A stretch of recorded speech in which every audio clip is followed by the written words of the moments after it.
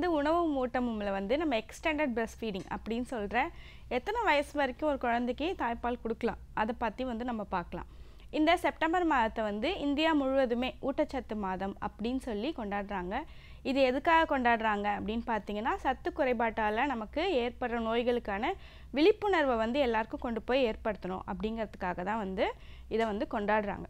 இந்த extended breast feeding அப்படிங்கிற இந்த தலைப்பு வந்து இப்போ ரொம்ப அதிகமாக வந்து பேசப்படுற ஒரு தலைப்பாக இருக்குது எத்தனை வயசு வரைக்கும் பால் கொடுக்கலாம் குழந்தைக்கு தாய்ப்பால் கொடுக்கலாம் அப்படிங்கிற அந்த சந்தேகம் வந்து நிறைய பேருக்கு இருக்குது எத்தனை வயசு வரைக்கும் கொடுக்கலாம் அப்படின்னு கேட்டிங்கன்னா அம்மா குழந்த ரெண்டு பேருக்குமே வந்து எவ்வளோ நாளைக்கு கம்ஃபர்டபுளாக அவங்க ஃபீல் பண்ணுறாங்களோ அவ்வளோ நாளைக்கு வந்து கண்டிப்பாக அவங்க வந்து தாய்ப்பால் கொடுக்கலாம். அதில் வந்து எந்த தப்போ தவறோ கிடையாது.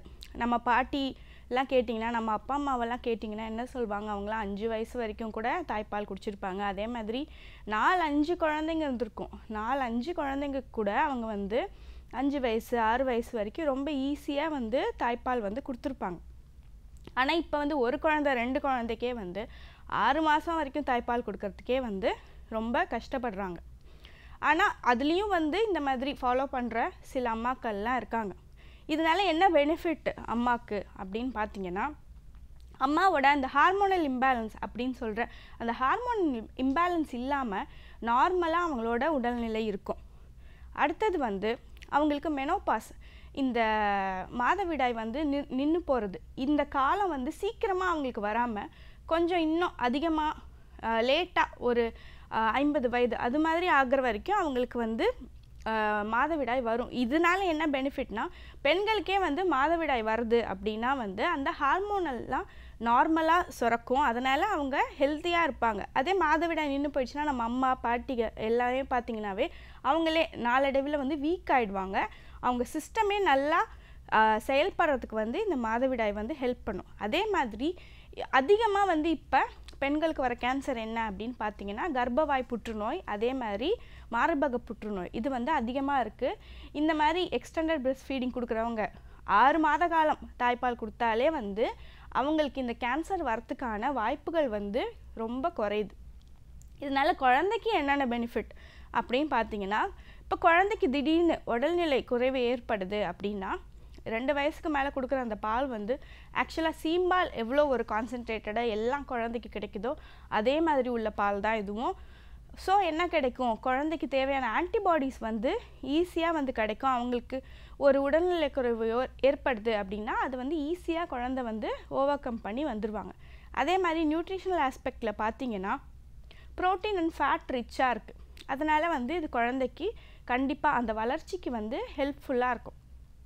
இந்த தாய்ப்பாலில் வந்து என்டார்ஃபின் அப்படின்னு சொல்கிற இந்த ஒரு அமிலம் இருக்கிறதுனால இது என்ன பண்ணும் அப்படின்னு பார்த்தீங்கன்னா இந்த ரெண்டு வயசுக்கு மேலே ரெண்டு ரெண்டரை வயசுக்கு மேலே இருக்க குழந்தைங்க வந்து அடிக்கடி ஓடிட்டே இருப்பாங்க கீழே விழுந்துருவாங்க.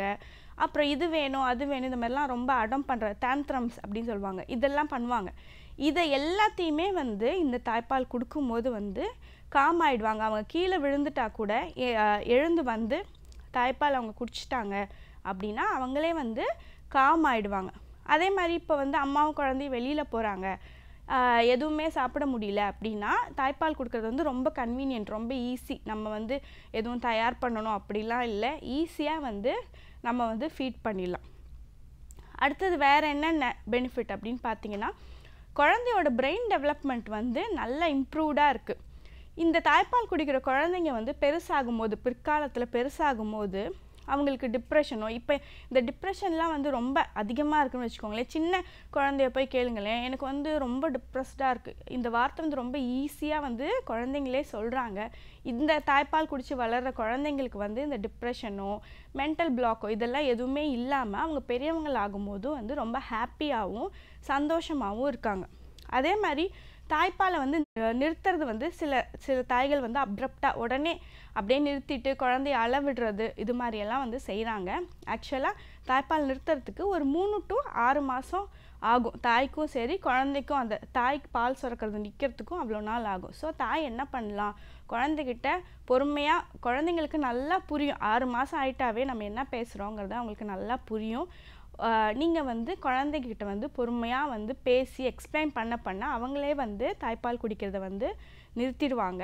அப்ரப்டாக சிலர் வந்து இந்த வேப்பெண்ணெய் தடவி இந்த மாதிரிலாம் பண்ணி நிறுத்துறது வந்து குழந்தைக்கு வந்து ரொம்ப கஷ்டமாக இருக்கும் அந்த காலகட்டத்தில்.